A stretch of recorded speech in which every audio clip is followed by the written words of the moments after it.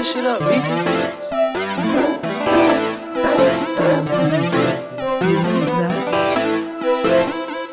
It's fresh shade away gang.